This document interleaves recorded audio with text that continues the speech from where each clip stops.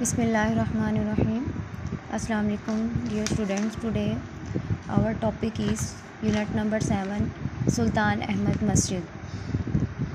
We start from reading the Sultan Ahmed masjid is one of the most impressive monuments in the world Sultan Ahmed masjid is है one of the most सबसे ज़्यादा में से एक। Impressive मुतासर कर देने वाली मोनूमेंट्स यादगारों में से इन द वर्ल्ड दुनिया की।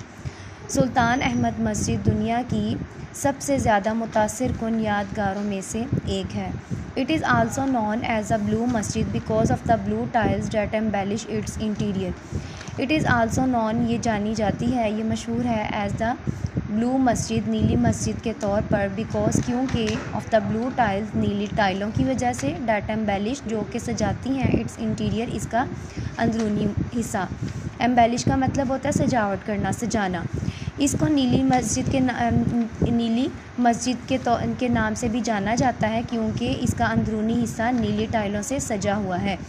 Situated in Istanbul. ये इस्तंबुल में वाक़ है the largest city in Turkey जो कि तुर्की का सबसे बड़ा शहर है and the capital of Ottoman Empire from 1453 to 1923 और सल्तनत उस्मानिया ऑटोमन एम्पायर सल्तनत उस्मानिया, चौदह सौ तिरपन से उन्नीस सौ तेईस से सल्तनत उस्मानिया का दारुल खिलाफा है। इट हैज़ बिकम ये बन चुका है the most popular tourist attraction the most सबसे ज़्यादा पॉपुलर मशहूर टूरिस्ट सियागा के तौर पर अट्रैक्शन सयाहों की अट्रैक्शन दिलकशी का बाइस। ये सबसे ज़्यादा सयाहों की दिलकशी का बाइस बन चुका है।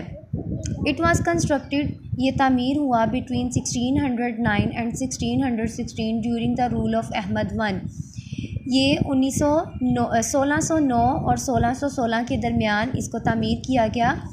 अहमद अव्वल के दौरे हुकूमत में। इसे अहमद अव्वल के दौरे हुकूमत में 1609 और 1616 के दरमियान तमीर किया गया। एज़ वाज द कस्टम, जैसा कि रवाज था this masjid like the other masajid of the time.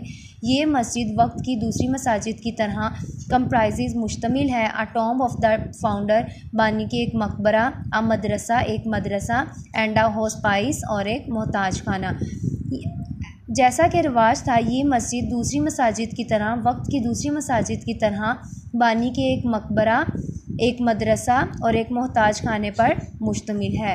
बटा ये फ़र्स्ट और सेकंड पैराग्राफ हमने पढ़ा, इसके डिफ़िकल्ट वर्ड्स के मीनिंग आपने याद करने हैं। इसकी कंप्लीट ट्रांसलेशन आपने नोटबुक पे नोट करनी है। एक लाइन की आप इंग्लिश लिखेंगे और उसकी फिर आपने ट्रांसलेशन भी नीचे लाइन में लिखनी है। तो ये फ़र्स्ट टू पैराग्राफ हैं, अच्छे तरीके से इनको याद कर लें। अगर किसी किस्म की समझ नहीं आती तो आप मुझसे पूछ लें। ओके, स्टूडेंट्स, अल्लाह हाफिज़।